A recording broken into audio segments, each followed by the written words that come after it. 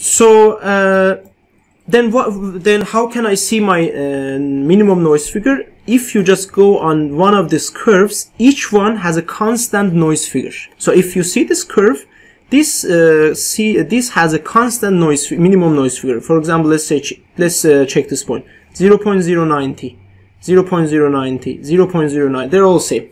As you go to the right side, this actually increases here if you see so we then we want to pick this because it has this is a very good thing because it gives us an idea that where should we pick our uh, biasing point so this is very good idea it shows that we can pick for example 1.8 and 0. Point, uh, for example 856 as our uh, I'm going to show with maybe this point so I have the marker here as you see this is my uh, contour and here maybe this is a very good point for me to choose. For example here I have a VGG of 0.856 and uh, my VDD is 1.8 which is uh, quite suitable. You also have to uh, think about your breakdown voltage because uh, if this transistor has a generally breakdown voltage of 2 volts so if this is 0.8 and this if this is uh, 1.8 is fine because the V gate drain um, has the break the, the DC voltage of uh, something around 1 volt which is uh, which is okay for us. So this is one of the things that you have to be careful about. And now we are going to check our max gain same method we are going to write the same formula. So copy I'm going to copy paste this formula and call this uh, max max gain. It means the VDD for max gain and you're just choosing this max uh, max gain 1 the definition is this.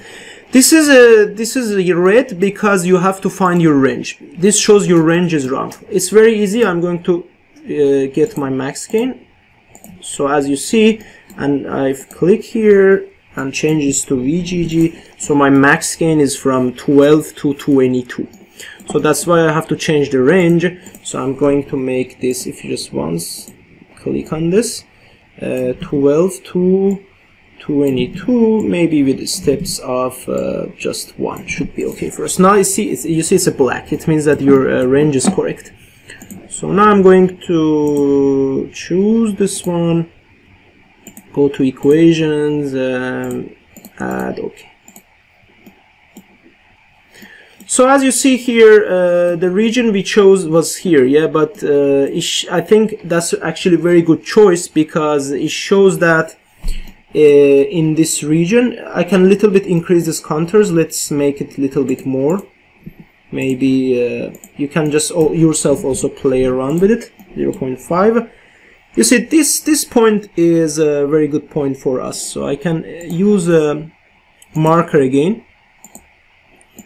So it shows that uh, my max gain at this level. This level shows your max gain. Same here. Level. Level shows your NF min. Your max gain is 21.5 it means that if you go back to our previous course, it means that if you have this structure right now, and you design a matching circuit at the input and have a perfect matching and design matching circuit at the output and having the best matching, it means that no mismatch, you are going to get this gain from your, this S21 from your structure.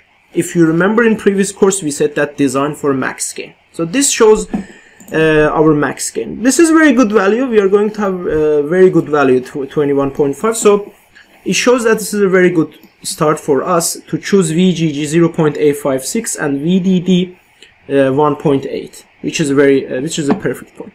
Thank you for watching our video. Please don't forget to subscribe. You can learn about this topic and more using our website. The complete course on this topic is provided on our website at www.rahsoft.com.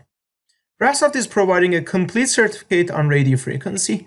The courses are complete step-by-step approach with quiz and examples and certificate of completion will be provided upon finishing each course. By taking the required courses in RF system and IC design with pass status, Rahsoft would provide the Rahsoft radio frequency certificate. Thank you. See you soon.